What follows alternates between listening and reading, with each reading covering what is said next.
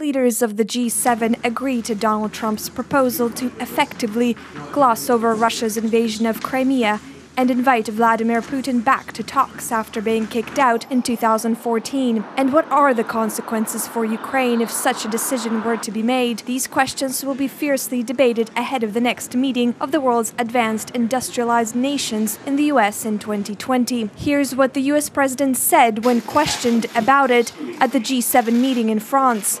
Mr. President, do you think that you will invite uh, Putin to next year's G7, sir? That I don't know. We did discuss it. Uh, we had a very good discussion on Russia, President Putin, and uh, lively discussion, but really a good one. And uh, it was but it's certainly it's certainly possible. It's certainly possible. We'll see. The UK's Guardian newspaper quoted a European diplomat at the G7 as saying, only Giuseppe Conte, the outgoing Italian prime minister, offered Trump any support.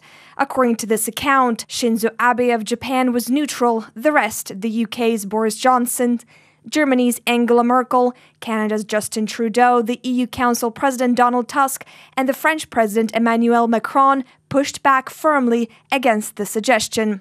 On August 20th, days before the G7 summit began, Donald Trump said it would be appropriate to let Russia rejoin the group.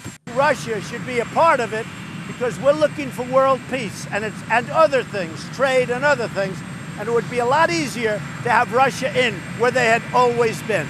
At this year's meetings, the debates over Russia sparked a lively discussion, as described by the US president. But according to the New York Times, most world leaders have rejected the idea of Russia's readmission until Moscow reverses its intervention in Ukraine, saying it would reward aggression.